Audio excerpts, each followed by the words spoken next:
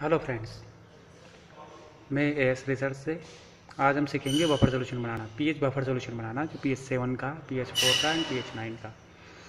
जो कि P H के मीटर के कैलिब्रेशन के अंदर यूज़ में आता है। आज मैं लाइव प्रैक्टिकली आपको बताऊँगा पी एच बफर सोल्यूशन कैसे बनाते हैं। तो इसके लिए आवश्यक है, पहला तो एक वॉल्यूमेट्रिक फ्लास्क हंड्रेड एम का। ये वॉल्यूमेट्रिक फ्लास्क है हंड्रेड एम का। साथ साथ में डबल डिस्टिल वाटर और pH buffer tablet pH buffer tablet जो कि मार्केट में अवेलेबल हो जाती है। पीएच सेवन का बफर टैबलेट पीएच फोर का buffer tablet and pH nine का बफर टैबलेट टैबलेट्स भी हैं और कैप्सूल भी अवेलेबल हो जाते हैं। अलग अलग ब्रांड्स के टैबलेट्स एंड कैप्सूल मार्केट में अवेलेबल होते हैं। सबसे पहले एक पी एस सेवन का अगर बफर सोल्यूशन बनाना है तो पी एस सेवन का बफर सोल्यूशन का टेबलेट एक कैप्सूल होता है। एक कैप्सूल इसमें से बाहर निकालेंगे। वन कैप्सूल लेंगे। ये कैप्सूल इसको 100 एम एल वॉल्यूमेट्रिक फ्लास्क में ट्रांसफ़र कर देंगे खोल के। खोलने पे एक पाउडर मिलेगा। That is the powder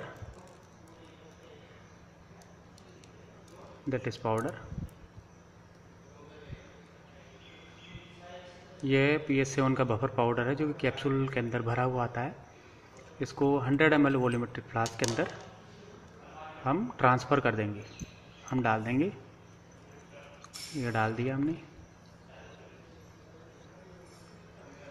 अगर पी एच टैबलेट्स अगर होती हैं for example P H tablet होती है तो पी एच टैबलेट को क्रश करके हम इसको 100 एम के वॉल्यूमेट्रिक फ्लास्क में डाल देते हैं और इसको 100 एम तक डबल डिस्टिल वाटर में मेकअप कर देते हैं।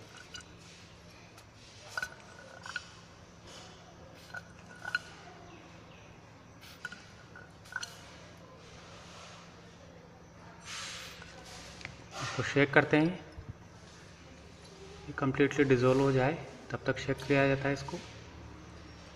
देखते हैं पाउडर पूरा डबल डिस्टिल वाटर में डिज़ोल्व हो गया या नहीं हुआ। और इसको 100 एम तक मेकअप कर देते हैं।